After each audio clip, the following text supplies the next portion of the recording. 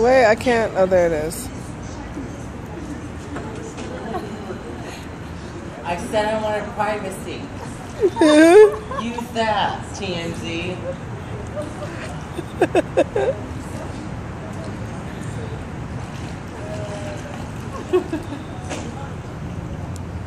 he swear.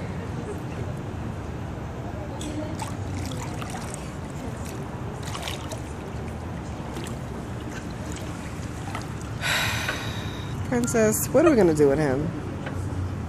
Seriously. I don't know. Find me a boyfriend. Please, the pickings are slim. I'm going back to exes. Aren't you? My grandma says I need to be with an older man. Because she says I'm not gonna have patience. Oh yeah, you're definitely not gonna have that. And I said, You're right, because young people are idiots, even some of my friends. No, even people your age, you fucking smart ass. I'm thinking with my heart, not my brain. What has that gotten you so far?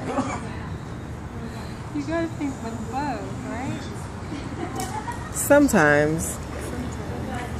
Maybe maybe you can justify that you're thinking with both. I am kind of thinking with both. Sometimes I am. Some days I am, I should say. But the decision to get back into my former relationship is all with my heart. But my brain is like, nigga, I'm not paying for shit. I don't give a fuck. Don't be gossiping about Coles. Don't be no. We ain't gonna talk about Coles on this um, recorded line. they might still be looking for a nigga. So, Monique, how are you feeling now about your recent decision? Um, it's kind of like I watched a comedy show once. Some more. It's like you Who? at the some more. Who is that? She has short hair. She's like really funny. Anyways, she said, comedian. Yeah, Comedy comedian. Yeah, it's like being at the amusement park, right? And you seeing people walk around with those big stuffed animals, all those oversized stuffed animals, and you're like, shit, I want one. And then you get one. You finally get one after trying, trying all these different games, all playing all these different games, and then guess what? You can't ride any more of the rides because you have this big stuffed animal. Mm, that's a really good analogy. I like that. So I'm glad I have it. It's kind of like, oh, I, I got it, but I can't ride none of the rides no more. But I told you my plan. You know, I just kind of want to test it out. I, I do want to be back with him. Yeah. But I'm not. I mean, I don't know why I needed things to be more official when things are going to be the same because I'm going to be uh, gone for like nine days. I mean, you know, for for days at a time. Yeah.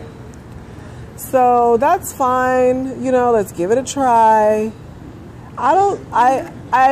As long as I give it a try, and if it doesn't work out this time, I can say that I really did give give them all. I'm not gonna This trial cheat. number what? This is this is take two. We'll try it, but I can't ride none of the rides no more. Are you excited? I am excited. I'm excited to do stuff with him again. Like he's he's funny, you know, and he makes me laugh. He makes me feel good. And when he we talk on the phone, and you know, he just it, it makes me feel good to ha- to have that daily communication with him again. But he's still fucking stupid.